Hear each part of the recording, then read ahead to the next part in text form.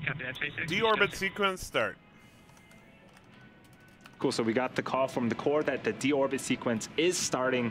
Again, we're gonna be starting off with the um, separation of the claw and then eventually the trunk. Uh, so again, you'll hear those um, beeps throughout the uh, cast today. Those are Quindar tones, and effectively, effectively what those uh, do is they help to clear the air to make sure that communication to and from uh, the crew and ground are nice and clear. So uh, Jesse and I will try, will try to pause and make sure that uh, you guys also um, are able to listen in to that as well.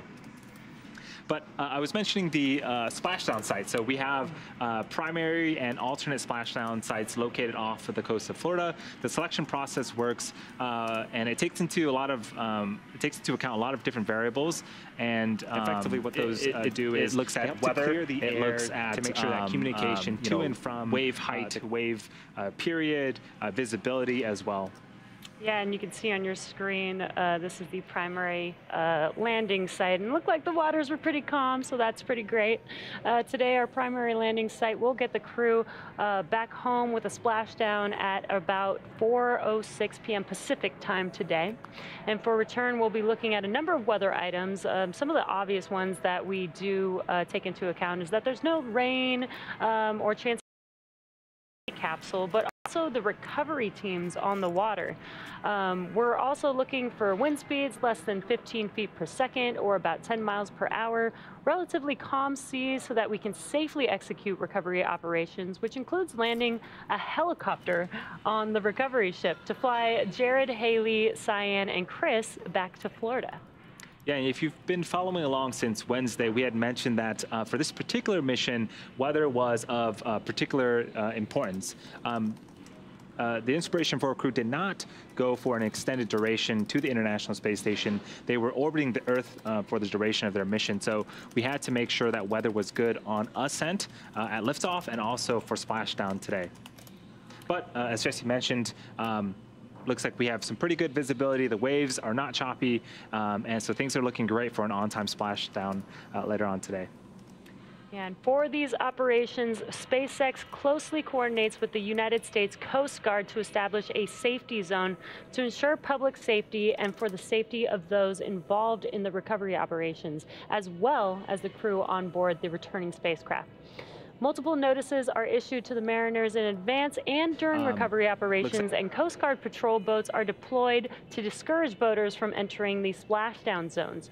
Now, we want to stress to the public the need to respect this safety zone.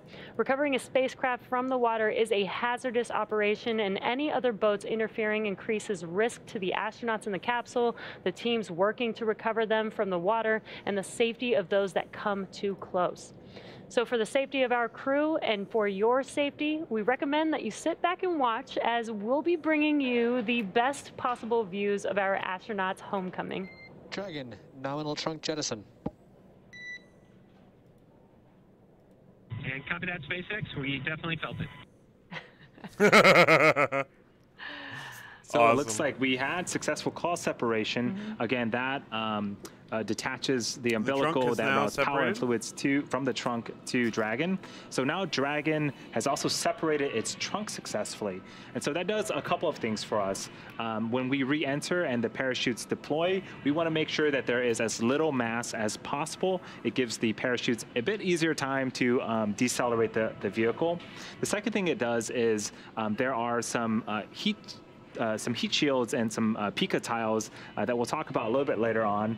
Uh, and their job is to protect the capsule and the crew from all of the heat that's being generated during reentry. Jettisoning the, the trunk exposes that heat tile and um, uh, allows it to face forward during reentry.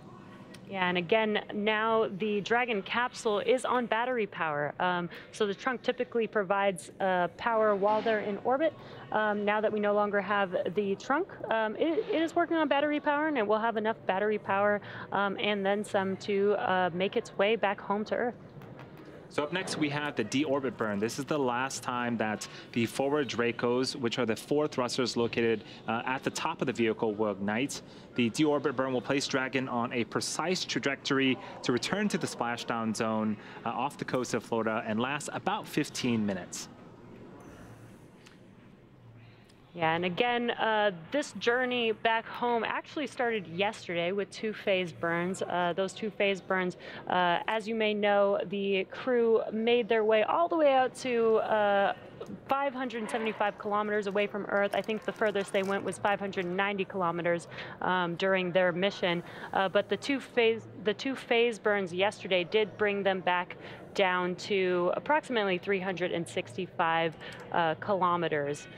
Um, so after those phase burns, this helps bring them just a little bit closer to Earth. And then today, after we've now jettisoned the trunk, we will have a deorbit burn, which will set them on the trajectory back to the splashdown uh, landing zone. Yeah, so we are expecting that deorbit burn to begin uh, in about three minutes. Uh, again, it is uh, going to last for about 15 minutes. Uh, and uh, as Jesse mentioned, uh, that is sort of the final burn before Dragon begins to reduce its altitude, um, get away from that orbital velocity of 17,500 miles an hour, and start to make its way to its splashdown zone off the coast of Florida. Yeah, so, and yeah, the- very exciting Yeah. day, um, and honestly, for the crew, a very exciting week. Um, if you've been following along, um, it hasn't even been a full week uh, since they've started their dress rehearsals last Sunday. They lifted off and, and got into orbit on Wednesday, and now, just a few days later, they're coming back home. Yeah, and this has been such an incredible mission. Again, um, this mission uh, was to help fundraise money for St. Jude. Uh, their mission was to raise, uh, try and raise $200 million for St. Jude Children's Research Hospital. Um, and again, just such an incredible, incredible mission with the first uh, all civilian crew on board out in orbit into space, um, but also inspiring the world um, with all their the the positions that they they selected for the seats for uh, who should be on this mission. Um, the seat of leadership, the seat of prosperity, the seat of generosity, and the seat of hope. So, just an overall incredible uh, last few days, and now we're currently bringing the crew back home, which is very, very exciting. Yeah, and they've been uh, quite busy as all astronauts um, uh, are, but uh, I love that they were able to spend some time and, and um, they gave us an on-orbit update yesterday. We saw Chris play the ukulele. We saw um, Hayley do some somersaults in space. I think uh, Dr. Sian also showed us um, the drawings um, that she had done in space too, which was phenomenal. Just so amazing and she's been inspired by their own launch so she showed us uh, some drawings of that um, and just really cool to, to see the crew up there they had a, a, a number of events as well um, they what their conversation I was know. like. Um, but uh, I, think it's quite interesting because we all know Tom Cruise from um, Top Gun, call sign Maverick. Mm-hmm. Uh, the crew themselves also got call signs because they were a part of a lot of fighter jet training Mm-hmm. and exercises. So I love that uh, they were able to connect. Yeah, that must be so exciting for them.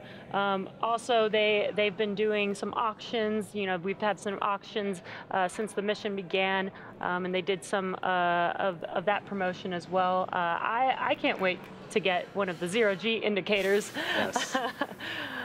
Um, I think those sold out very, very Yeah. quickly. um, the Space Dog, you might have seen it. Uh, we might be able to get shots of it uh, if we uh, ever get um, shots inside the cabin again. But um, yeah, super cute and um, also, re- again, represents a great cause. Uh, I, I do want to do a quick plug that if you are watching on YouTube, there is a donate now button on the right hand side of your screen.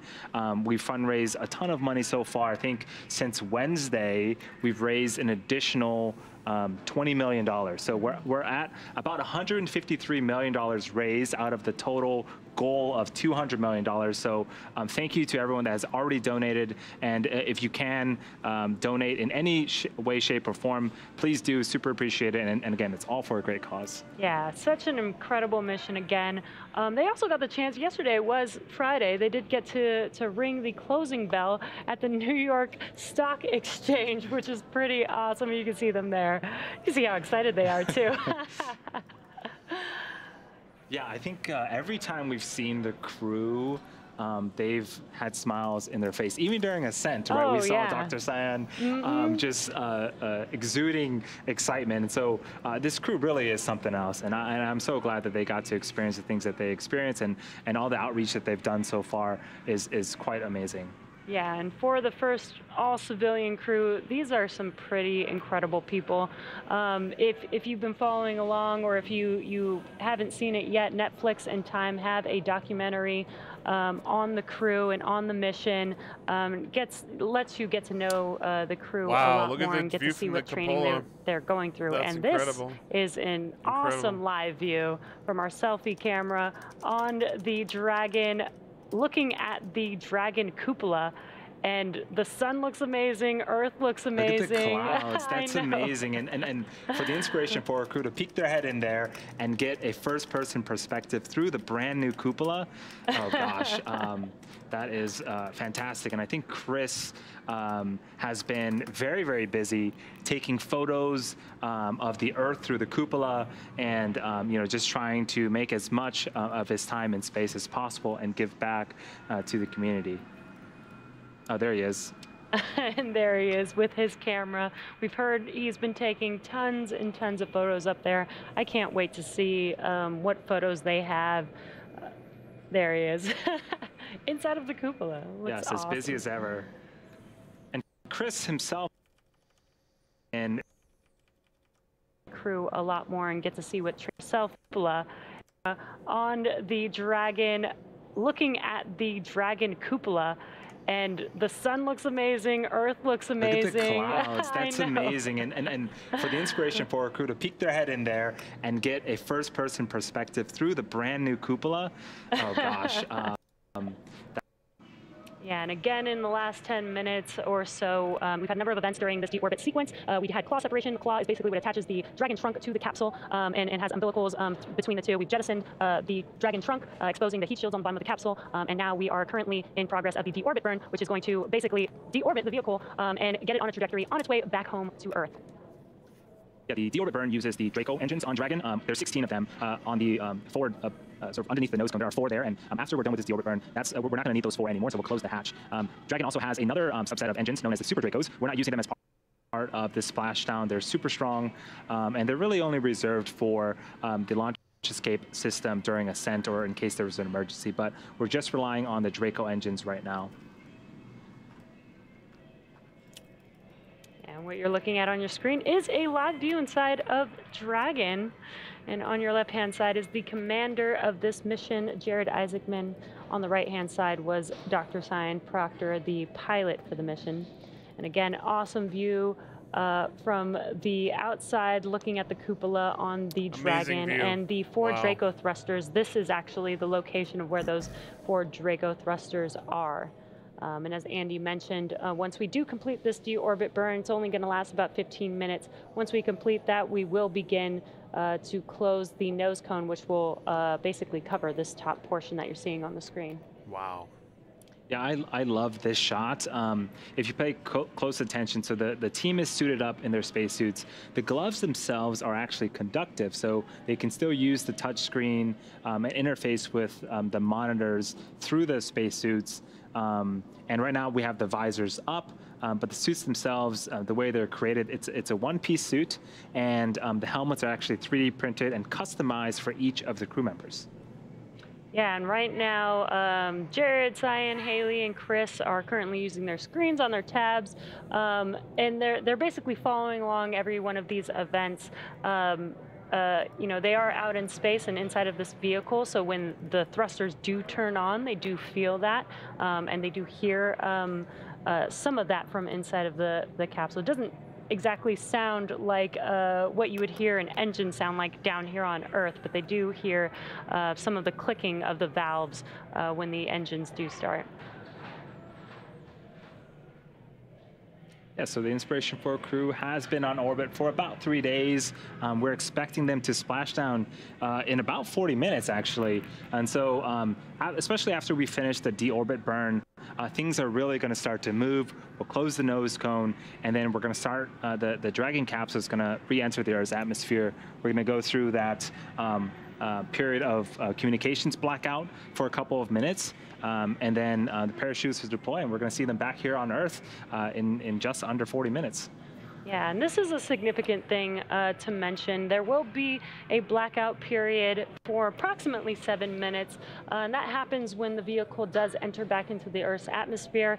Um, outside of the Dragon capsule will heat up to almost 3,500 degrees Fahrenheit. Um, and what that will do is cause a layer of plasma around the vehicle, which will prevent some comms um, from, from coming through. Uh, but once they are through that period, we should be able to regain those comms. Uh, the core here at, in Mission Control Hawthorne uh, will do some comm checks to make sure that they have reestablished those comms between Dragon.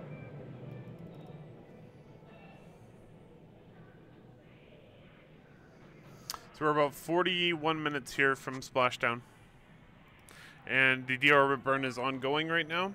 It's about 15 So if you are long. just joining us, uh, we are part of the Inspiration 4 mission uh, for Splashdown. Uh, the team is uh, targeted to uh, splashdown off the coast of Florida at approximately 4.06 p.m. Pacific time. Right now, we are in the middle of our deorbit burn. So this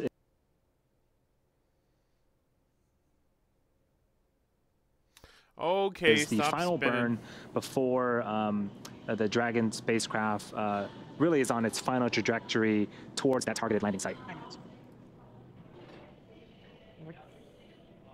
We're just about 10 minutes into burn, meaning there's about five minutes left of that deorbit burn, and right now you are looking at a live view inside of the Dragon capsule of the crew uh, watching and checking things on their display panels there. Again, they are following along with all of the events uh, so that they are aware of every expected event that is uh, supposed to happen. And uh, again, a awesome live view from the outside of our Dragon capsule on the forward end, looking at our There is the altitude of amazing 120 kilometers. Dragon is committed.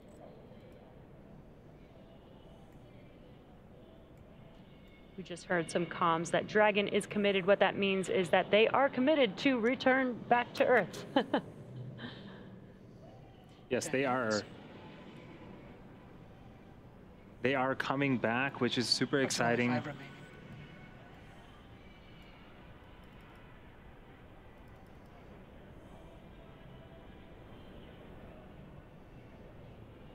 So uh, I should mention at this point, uh, Dragon itself is an extremely intelligent vehicle. Um, it is uh, largely autonomous and uh, effectively flying itself. So um, it knows where it's at, um, its position in space. It knows where it's headed. It has the ability to adjust its uh, attitude or angle um, and trajectory as needed uh, to make sure it is headed where it, it needs to head. And so even through the communications blackout period, again, um, due to the temporary buildup of plasma that interferes with communications, um, even through that period, uh, the crew really just has to sit back and enjoy the flight because Dragon um, is smart enough to know where exactly it's going to be.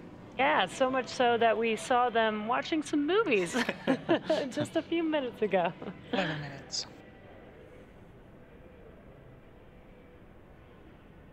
You are hearing on the comms just some status updates of that uh, deorbit burn. Again, this deorbit born, burn lasts about 15 minutes long, um, and we're getting close to completion here.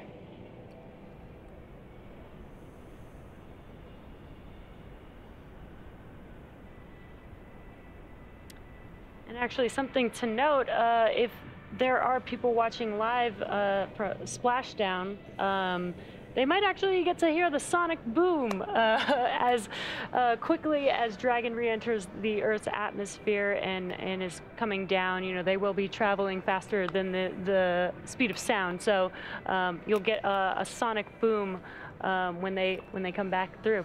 Yeah, I think that the folks that um, are nearby or live close enough to the coast, they might even be able to see Dragon. It is uh, a daytime splashdown, uh, which is super exciting.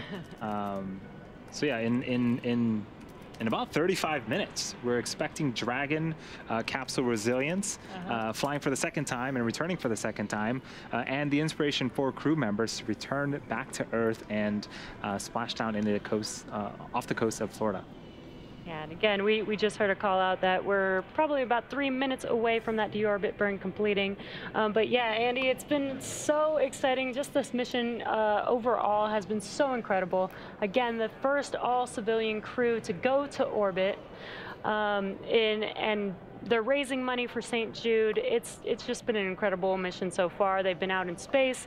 Um, you know, talking to St. Jude's patients, raising money, um, doing some science experiments for us so that we can see, you know, what does does microgravity do to, you know, the regular person like you FPA and me. valid, 13 minutes.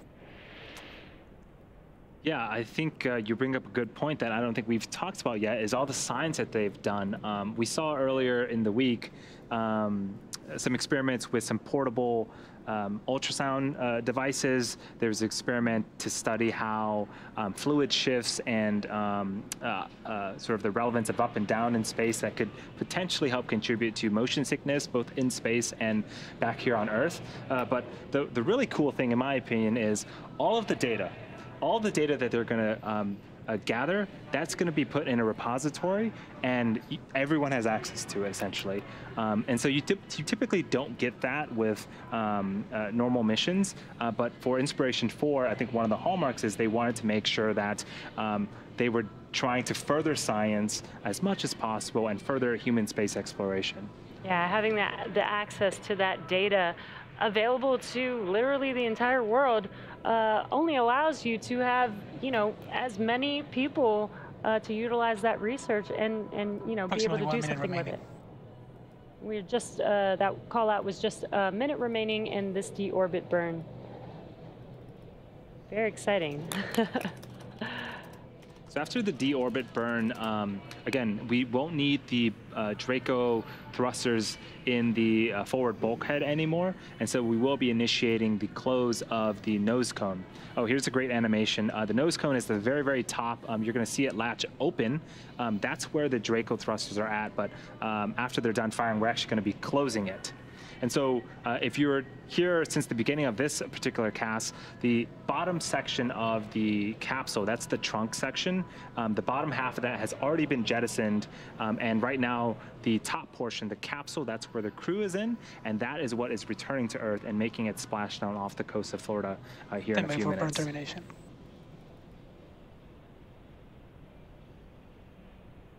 Burn stop. Nominal burn. Good targeting. No, no Dragon, burn. deorbit burn complete. Performance nominal. Deorbit Nose burn closure is initiated.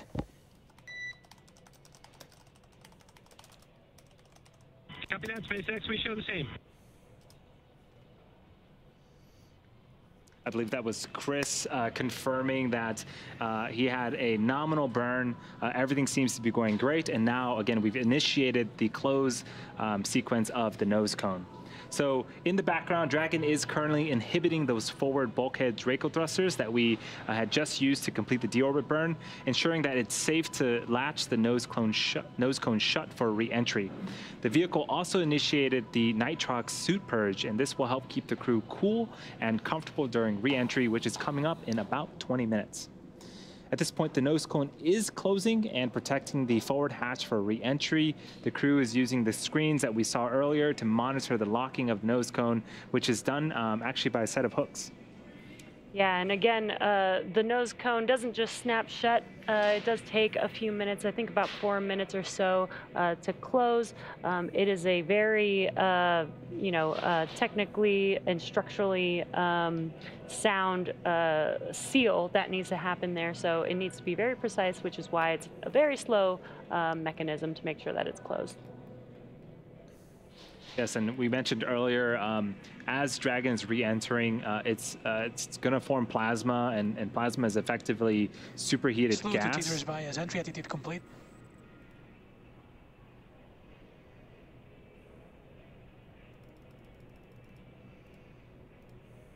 That call out was uh, for the slew being complete. So the slew is effectively maneuvering. And so uh, we want to position Dragon and orient it a certain way uh, before it starts to re enter the Earth's atmosphere. So that looks like it's going well. Um, but I mentioned a little bit about uh, the the temperature buildup around the heat shield and Dragon. Um, so we initiate a nitrox purge in both the cabin and the suits to keep um, the environment in. Suits themselves will temperatures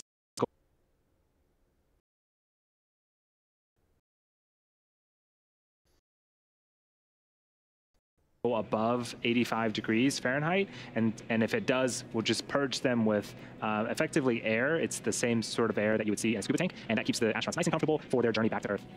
It's basically their own personal AC system. um, and as we mentioned, we are coming up on uh, the blackout period, which is about 10 minutes or so from now, uh, or 10 minutes after nose cone closure. Again, nice and cool. Uh, the suits themselves will automatically detect if temperatures go above 85 degrees Fahrenheit, and, and if it does, we'll just purge them with uh, effectively air. It's the same sort of air that you would see in a scuba tank, and that keeps the astronauts nice and comfortable for their journey back to Earth. It's basically their own personal AC system. um, and as we mentioned, we are coming up on uh, the blackout period, which is about 10 minutes or so from now, uh, or 10 minutes after nose cone closure. Um, and during that event, uh, the capsule, the, the exterior of the capsule will get to approximately 3,500 degrees Fahrenheit. So as Andy mentioned, it's extremely important to keep the cabin cool, to keep um, the astronauts uh, cool during this event. Uh, but Dragon was designed for this, um, so uh, they, they shouldn't have any problems with uh, 3,500 degrees Fahrenheit. Yeah, we've got some really cool material on the bottom. Um, it's known as, it's actually called PICA 3.0, uh, and its job is basically to deflect and and take on all of that heat and make sure that we keep the capsule and crew nice and cool again for their reentry. Uh, if you're looking on screen right now, uh, there is a capsule, Dragon capsule in the background. You can see at the very bottom uh, the tiling of that PICA material. Um, that is a returned capsule. So it's been through the Earth's atmosphere. It's taken on that 3,500 degrees Fahrenheit heat, and, and that's what we expect the capsule uh, today to also look like upon reentry.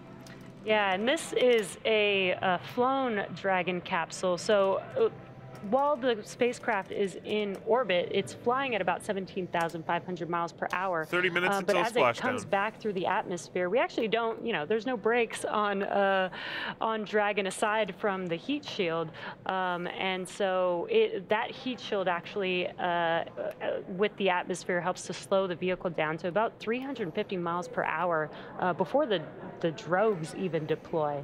Yeah, it's it's quite uh, incredible to think about that um, orbital velocity again, 17,500 miles an hour, uh, being slowed down to just 350 miles an hour with just atmospheric drag alone. Um, is, is incredible, and then and then from there we deploy the chutes, and so Correct. most of the job. Thank you to Earth's atmosphere for slowing down uh, Dragon. Most of it is done uh, by the friction um, up there. Apologies for that. Which is um, we're going to be uh, waiting on confirmation that the nose cone has been closed, and then uh, we're going to be entering that blackout uh, portion, the uh, the communications blackout period, a few minutes later. It is expected to last uh, for about seven minutes, and um, what I would expect to hear is um, we heard those Quindar tones, those beeps uh, from crew to uh, to core and core to crew. Um, expect those to um, start to um, pop up again as we're coming out of that blackout period. We want to make sure that we reestablish communication with the crew. Yeah, and actually, uh, before we go into the blackout period, we should hear some comms as well. Um, again, the, the core here uh, in Hawthorne, uh, Mission Control Hawthorne, uh, communicates with the team, makes sure that they know which event is coming up next uh, so that they know what to expect. Um, and so we should be hearing uh, some of that confirmation that they will be going into the blackout period as well as uh, some confirmation and some comms when they uh, exit that period. altitude.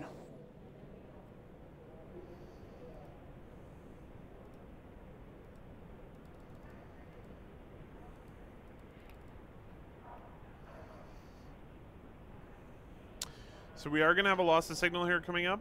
Um, basically, the, the scary part of reentry as uh, as Dra- Dragon tries to slow down.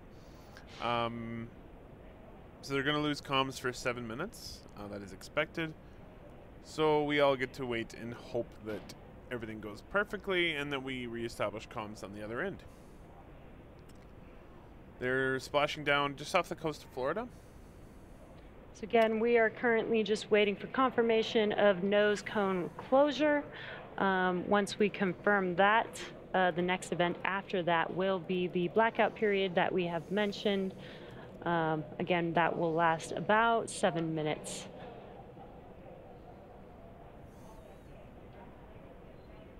What you're seeing on your screen right now is Mission Control Hawthorne uh, here at SpaceX headquarters. Looks like you can see uh, Gwynne Shotwell sitting in the front row there, uh, watching as our first all civilian crew, the Inspiration 4 crew, returns back home to Earth.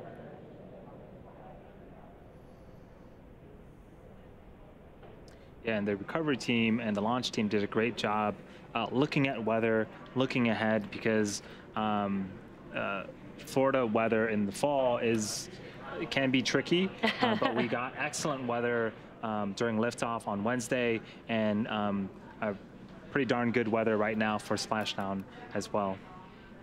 Yeah, when we did get some live views of the, the seas there, it did look pretty calm, which is exactly what we want. We want to make sure that uh, during recovery, uh, you know, we have some, some steady seas, uh, not just for the crew. Dragon, nose cone is secure for entry. Copy that, SpaceX. We show the same. Nose cone secure. Sounds like we got that confirmation of nose cone closure. So as we begin the second half of entry, Dragon is now beginning to flush nitrox into the cabin and continuing to top off the Inspiration 4 crew's suits with cool air. Again, this is what will allow the cabin temperature to remain comfortable while external temperatures can reach upwards of 3,500 degrees Fahrenheit. Uh, again, the heat shield is pointing forward. That's the leading um, structure that is going to uh, be heading into reentry, um, and that's going to be what leads the capsule to the landing site. And again, uh, the exterior of the capsule will get to approximately 3,500 degrees Fahrenheit, but again, Dragon was designed for this dynamic event, uh, so there will be uh, some cool air um, inside of the cabin. It's environmentally controlled as well as through their suits. Um, they do have their personal air conditioning uh, inside of their suits where they will get uh, a flow of nitrox um, and as Andy mentioned earlier, uh, there are sensors in the suits, so they don't even have to think about if they're getting too hot or not. Uh, the suits will just automatically um, keep the, the environment controlled inside of their suits for them. Okay, this is a great view of the suit. Uh, Mm-hmm. first off, looking super cool slick and super spacesuits. cool, um, but it is essentially a, a, a mini spacecraft. There's an umbilical from the um, leg portion that will hook up to Dragon, and that will route um, communications and electronics, as well as, uh, again, routing the air needed to keep the suit pressurized in case of a depressurization event, a depressurization event, um, or um, if they need to be purged with cool air, it can do that as well. Yeah, and some of the cool manufacturing features, the helmet is 3D printed. Um, the material uh, of, the, of the exterior of the suit is um, heat resistant, uh, as well as the gloves are uh, designed, uh, they're conductive so that they're designed to be able to use them on the touchscreen. Yeah, and, and again, they're all custom made for each of the astronauts. Um, uh, the chairs themselves are also custom fitted. There are um, a couple of different sizes, and the armrests can be adjusted um, uh, for the astronauts' uh, preference. And so, um, you know, we, we want to make sure, again, the, the crew is as comfortable and as safe as possible for landing. Um, the, the seats will actually recline up to its landing position, and then um, uh, there is a five point um, uh, belt um, that will keep the astronauts in place uh, to make sure that everything uh, is it's a great nice and comfortable for Dragon the is. team. And uh, we have a dragon tracker, and that's what you're seeing on your screen. You can see um, that dragon is currently to the west um, of South America there. And on their way, you can kind of see their trajectory uh, heading towards the coast of Florida uh, for their splashdown today.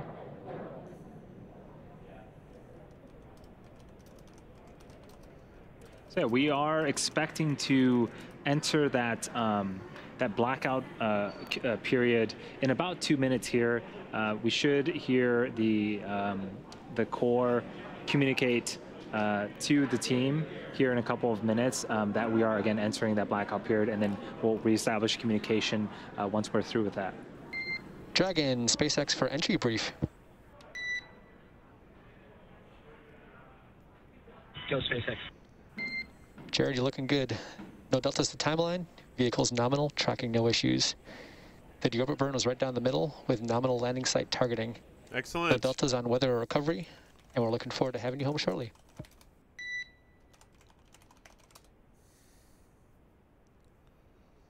And copy that, SpaceX. Good deorbit, bor- good deorbit burn. Vehicle's healthy. Recovery forces are there. Weather's looking good. See you guys soon. Good to be back.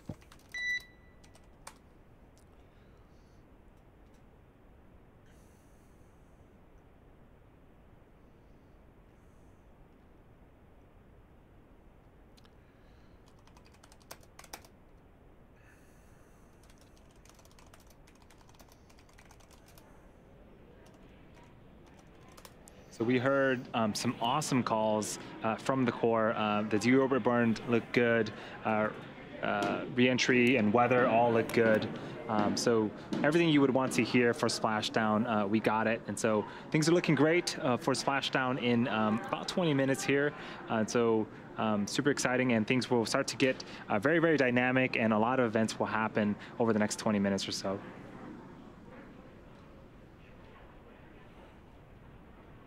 So at this point, we are entering um, here shortly a communications blackout period, which lasts approximately seven minutes due to plasma formation around the spacecraft. Uh, during this time, uh, no vehicle telemetry is received by mission control or the recovery team. Uh, and no external communicate, no external commanding of the vehicle or voice communication is possible. As a reminder, though, Dragon is designed to fly itself and continues to 200 autonomously kilometer altitude.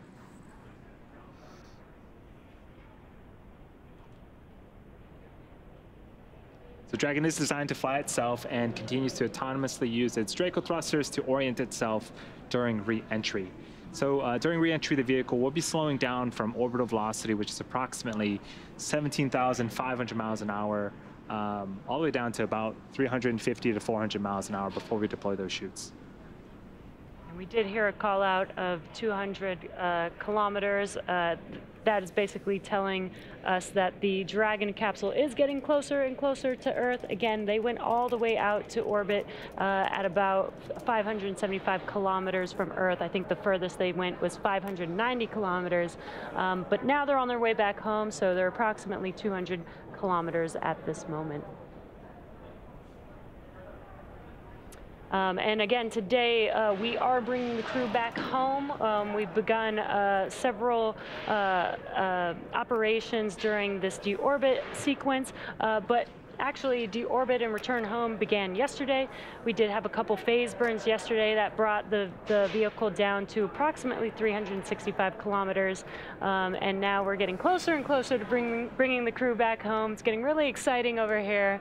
Um, can't wait to see, uh, see them back on Earth after their trip to orbit.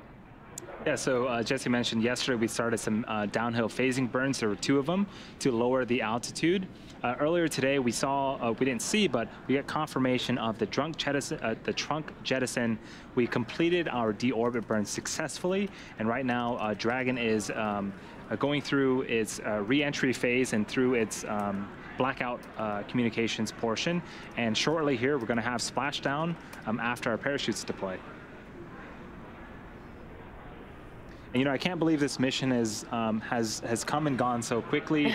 Uh, the crew has been, again, super busy, and I do want to remind um, all of our viewers that uh, this Inspiration 4 mission, this Inspiration 4 crew, it's, it's all for a great cause. We want to make sure that we further human space exploration. We want to do a ton of science, and we want to fundraise for St. Jude Children's Research Hospital. Um, the goal is $200 million. Uh, Jared Isaacman donated $100 million himself, and we're a little over halfway um, through the other $100 million that we want to um, uh, fundraise. So if you're watching on YouTube, if you have a computer nearby, you can go to inspiration4.com slash donate and um, support the cause there. There's also a bunch of different things like auctions, um, Dragon, SpaceX, please verify crew entry preparations complete with tablets, restraints, visors, and feet. Copy that, SpaceX. We were just waiting a little bit longer, but we'll do it right now.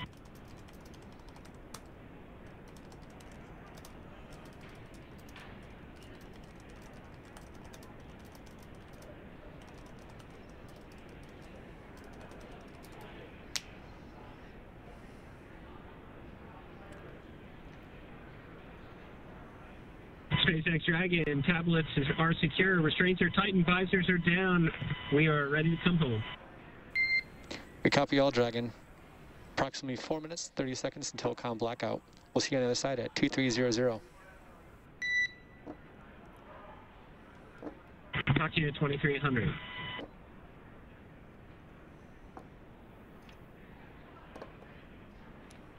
Just under five minutes away from that blackout period. So uh, what you're seeing on your screen is the core, the, the crew operations and resources engineer communicating with the crew on board Dragon, preparing um, for uh, re-entry back into the Earth's atmosphere. Um, so they're closing their visors, they're making sure that their five-point harnesses are um, uh, uh secure, um, basically doing all their preparations uh, for that re-entry.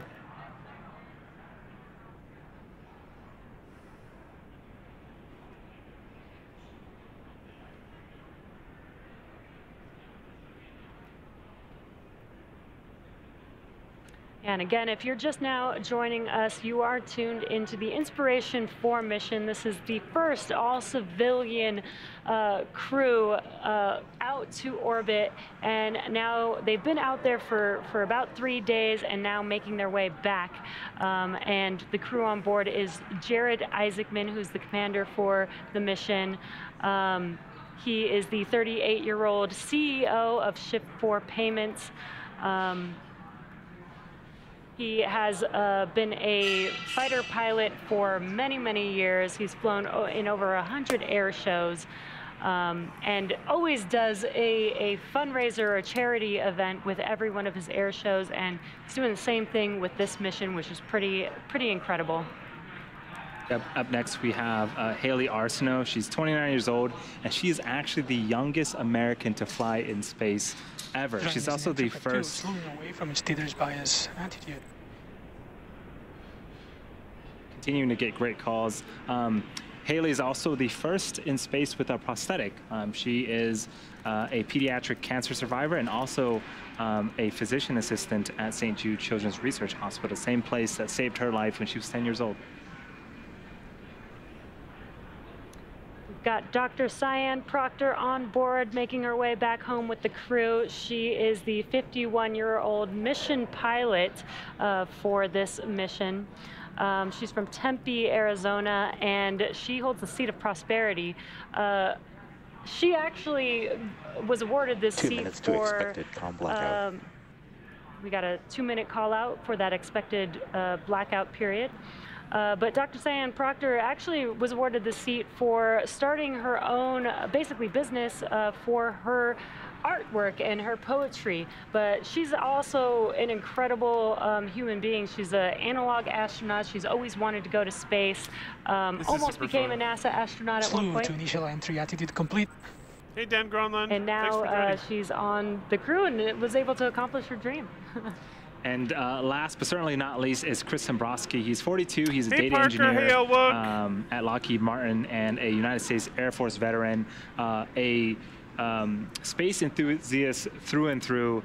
And uh, you know, I was watching the docu series, and um, he's just a uh, a, a, a, husband and father first and foremost. And so um, those were our four crew members that are currently making their way back home, uh, back down to earth, and um, as part of the Inspiration 4 mission. I'm so excited to see uh, see them come back home, and I can't wait to hear their stories from being out in space. Again, just the first all-civilian crew. You know, they're not professional astronauts. Um, I, I, can't wait to hear their stories uh, coming back from that. Yeah, it looks like they've had a really fun time. Um, I, I, was watching the um, interview uh, with the St. Jude uh, St. Jude children uh, yesterday, and uh, they were throwing M&Ms all over the capsule. Thermodynamic acceleration. And with the microgravity just darting them down and trying to chase them down. So uh, they're they're obviously very very good friends and um, uh, you know work very very well together. And we are entering this blackout 100 period. kilometer altitude.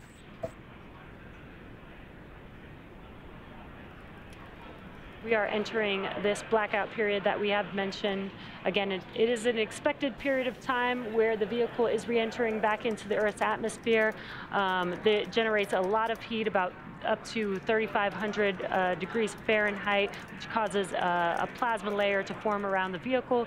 So we do lose comms with the crew. They've already done uh, their pre-blackout period operations, making sure that their visors are closed, they're strapped in, um, and they're ready to re-enter back into the Earth's atmosphere.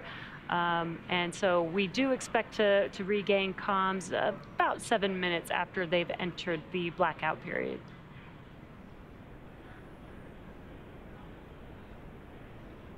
So the view on your left is Mission Control in Hawthorne, SpaceX's headquarters.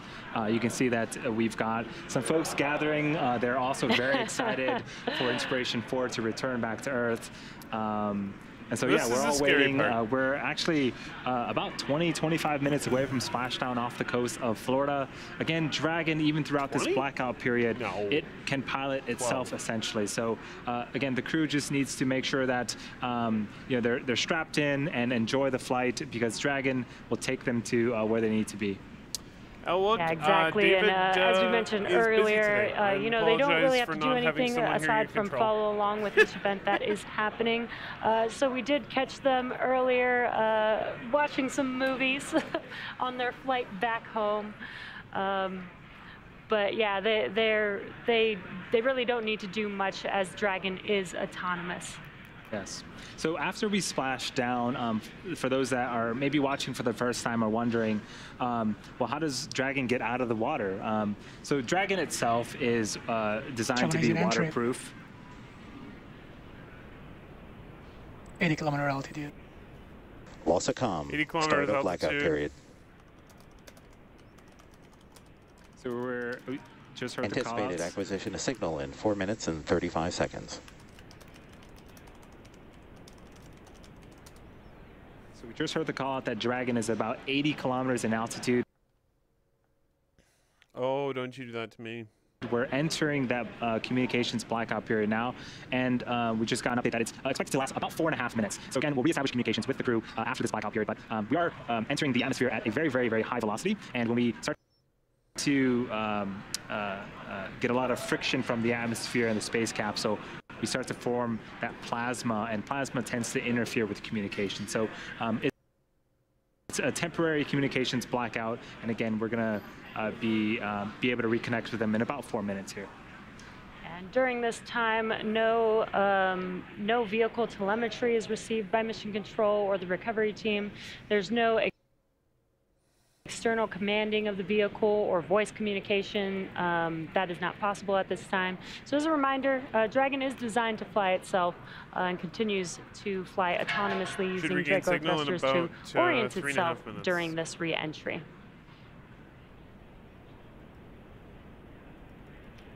Now, during this re-entry, uh, the vehicle will be slowing down uh, the orbital velocity from 17,500 miles per hour, uh, and the use of just the atmosphere will bring the vehicle down to about 350 miles per hour before we even deploy the drogue chutes. Yeah, um, a few minutes after we get uh, communications again, we are expecting to deploy um, the sets of parachutes. We have two sets. The first, again, are drogue chutes. They are there's two of them. Their job is to slow the vehicle down from about 350 miles an hour to about 120 miles an hour, and those deploy um, at around um, 18,000 feet.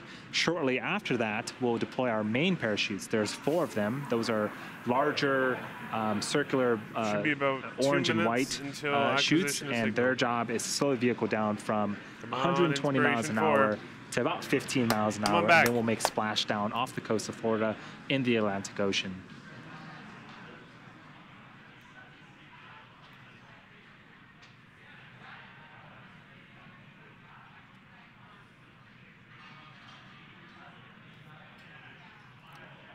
So yeah, Dragon is again, flying itself, uh, even the chutes that I had just mentioned about, um, uh, there's sensors uh, on Dragon that detect altitude and pressure, and they will um, determine when to fire those um, parachutes. And so uh, pretty much everything on Dragon is autonomous, and again, it's steering itself. It's taking the inspiration for a crew uh, where they need to go uh, for their targeted splashdown. Again, if you're just now joining us, we're currently uh, in progress of the blackout period. Um, what this is, is basically the Dragon spacecraft uh, re-entering the Earth's atmosphere. Uh, it'll see uh, temperatures, external temperatures of about 3,500 degrees Fahrenheit, building a plasma layer around the vehicle, uh, preventing comms um, and communication with the Dragon spacecraft. Uh, it's expected to last about four and a half minutes. We're a little over halfway through that right now, um, so we should, uh, in a in a couple minutes here, start hearing some comms from the core, uh, checking in to regain that communication with Dragon.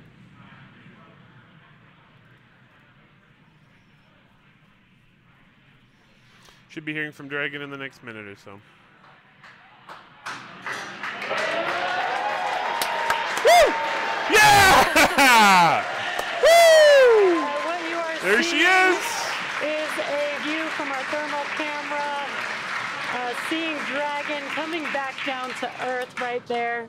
Yeah, this is amazing. This is the first shot of the Dragon capsule coming back uh, as part of the Inspiration 4 mission. Uh, the crowd here is super excited seeing that for the first time as Amazing.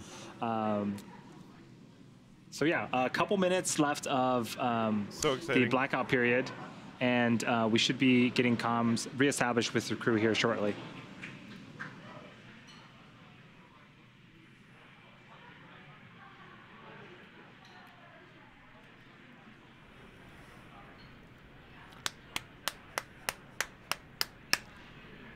Come on, comms.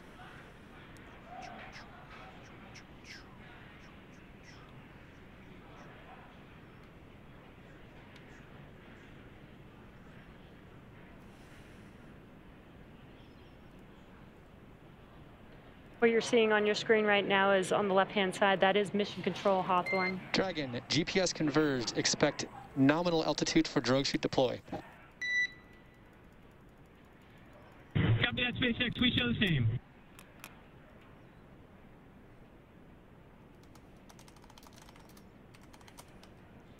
And those comms confirm that we have regained comms with Dragon, uh, and they're getting ready for There the, drone there's Dragon. Here They're shortly. back. Yeah, I love these tracking shots. Uh, again, that is Dragon in the center of your screen. Uh, we've got visuals of it, and we're expecting um, drogue chutes deploy to deploy, and then the main chutes shortly after that here in a couple of minutes.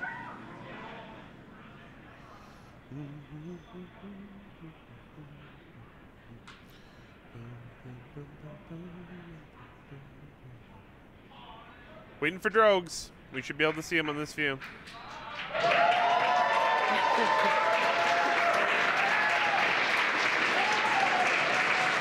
Again, a lot of excitement uh, for Inspiration 4 crew's return. Uh, waiting on drogue chute deploy. That happens at about 18,000 feet. Dragon, brace for drogue window. Copy that, SpaceX. We're bracing.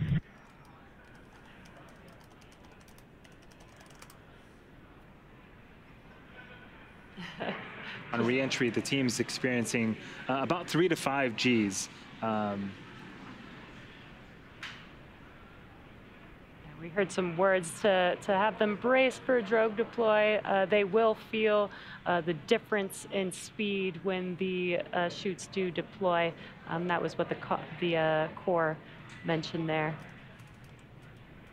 That's such a cool shot of Dragon uh, coming back Amazing down to view. Look Earth. at that It view. looks Amazing. very fast uh, in this camera view here.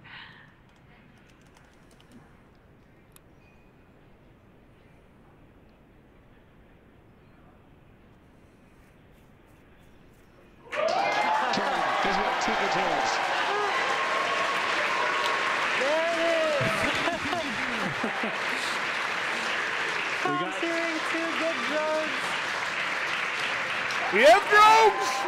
yeah, so this is a really Dragon, descending. Awesome. This is a great shot of Draken looking up at the here, drogue Peyton. chutes. A lot of communication going back and forth between the crew uh, and ground station, but the drogue's job is to slow the vehicle down from about 350 miles an hour to 120. We are expecting the main chutes uh, for these to cut off and the main chutes to come uh, shortly after this.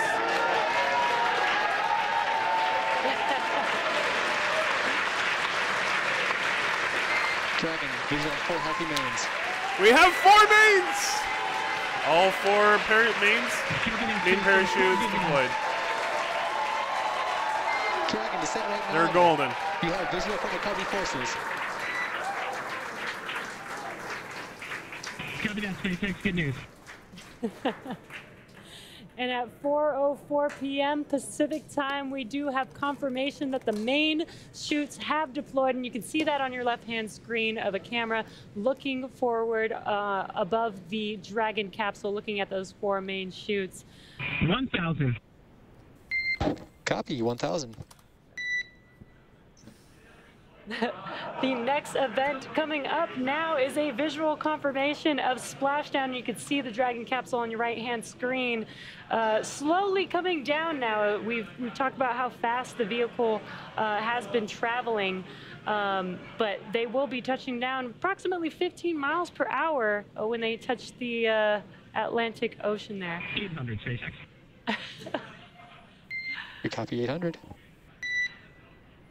Now, the, the Dragon 1 program had great success with the water landing with 20 successful splashdowns over the course of that program, nine of which were carried out by flight-proven Dragon spacecraft.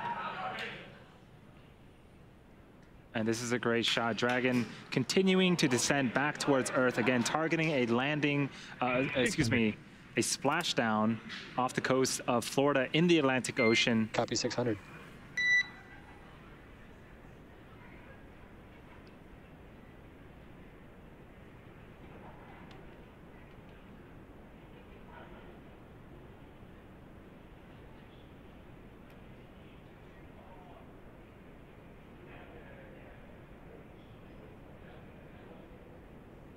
Four hundred. 400 feet. Copy 400.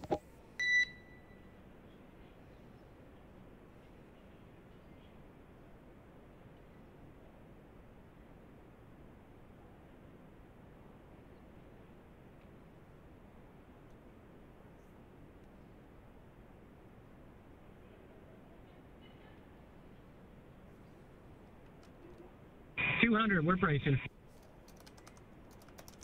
Copy 200.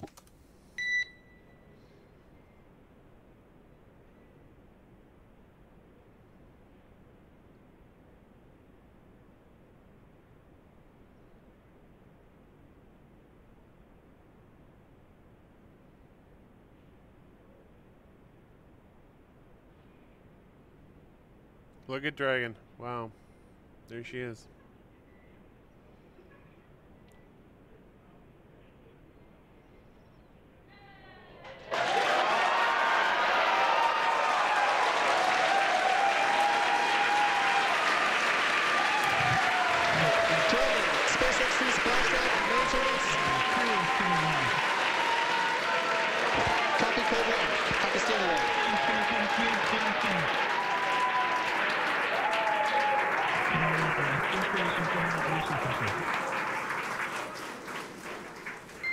Inspiration 4, on behalf of SpaceX, welcome home to planet Earth.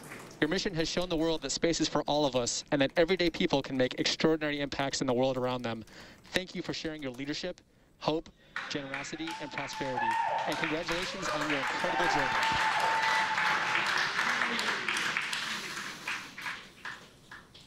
Thanks so much, SpaceX. It was a heck of a ride for us. It's just getting started. Copy just getting started.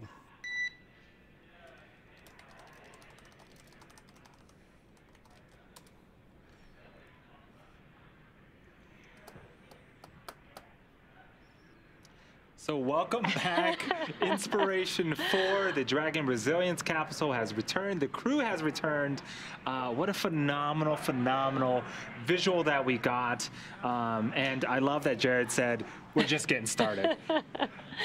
Right. This is the beginning uh, of their journey, uh, uh, of the next steps to the new era in, in human spaceflight.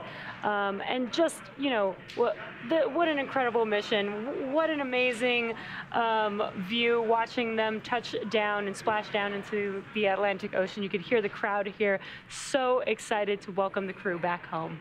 Yes. So uh, we do have a couple of events uh, that need to happen first before we can start to uh, uh get the crew out of the capsule. So you can see some boats headed towards Dragon. Um, and uh, uh, you know the first job is to make sure that the area around Dragon is safe to approach, and then we'll go in there, start rigging the Dragon up to be able to hoist later on onto our main recovery vessel. So uh, we also guys. heard that uh, Jared had uh, given Amazing. us the confirmation of stable one. What that means is Dragon has um, splashdown and is upright. There's also a stable two. Um, Dragon can this actually be really cool. um, upside down or sideways. Um, it is waterproof and has systems where it can pump seawater into some bladders to help keep it upright. So um, again, also stable one is uh, the, the, best on, sorry, possible scenario that we can achieve, and that's what we see on screen right now. And just something to note, um, there are going to be a few operations that happen um, before the crew can get out of the capsule. So they will be strapped into their seats, remain strapped into their seats um, throughout the, this and these operations until uh, basically until hatch open uh, once we have the Dragon capsule on board the recovery vessel. Uh, so we do have some events uh, coming up next. Uh, the um, fast boats will be approaching the Dragon capsule. Uh, they'll be doing some inspections to make sure that it is safe before we begin operations uh, to lift Dragon out of the water onto the recovery vessel. Dragon, SpaceX is go for recovery personnel to approach. Expect personnel alongside in one minute. And copy that, SpaceX. We're looking forward to seeing you. And Dragon, with that, we request to come aboard via display cam. And say again, SpaceX? Requesting permission to come aboard via display cam. Permission granted. Come aboard, SpaceX.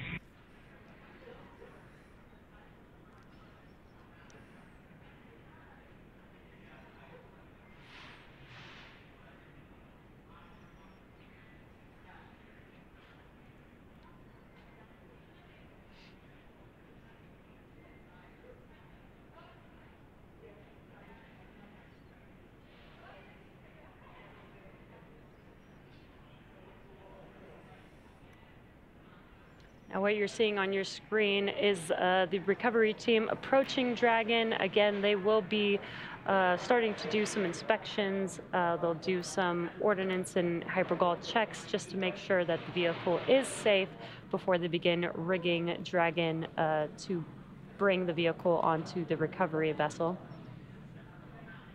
And I think on the left-hand screen, that is uh, someone on a jet ski helping to pull some of those chutes out of the water. Um, they did automatically detach from Dragon once they once the vehicle splashed down. Um, so now they are removing them from the water.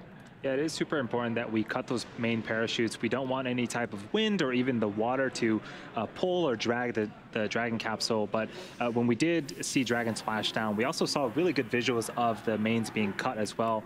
Um, there is Bolton personnel that are going to go out there and collect um, those chutes as part of the recovery operation.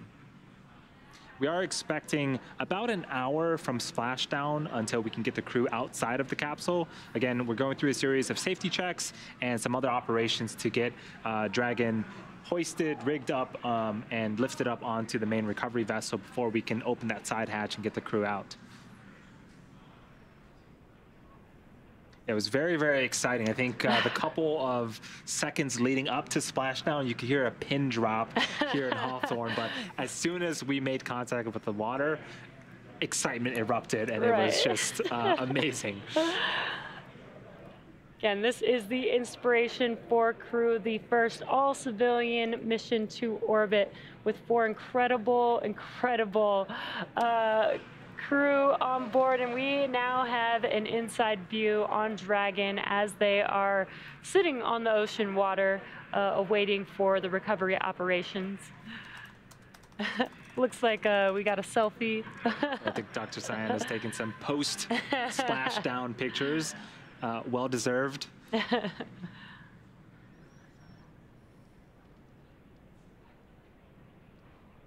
And again, this is standard procedure. We do have um, some crew uh, climbing on board Dragon. They're performing some inspections, uh, just making sure that the vehicle is safe prior to the next Dragon step. SpaceX. Hypergol sweeps and ordnance checks are nominal. Rigging is in progress. Approximately two five minutes until capsule lift. Stand by for PMC.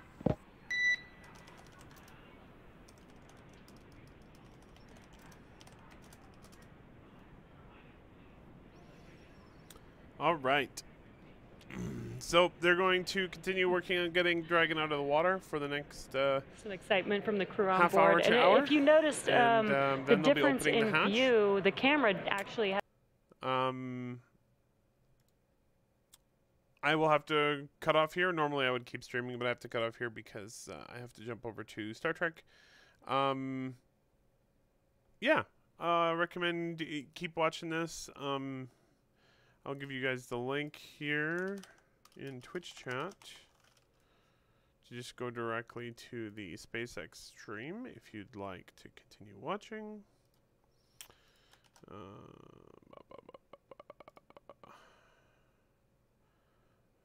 Alright. uh, Twitch.